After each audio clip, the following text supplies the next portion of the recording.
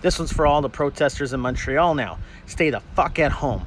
Are you people so naive you don't see you're adding time to your own lockdown? Stay at home. You can't follow simple instructions. That's why they keep locking you down. I got a solution. Stay at home.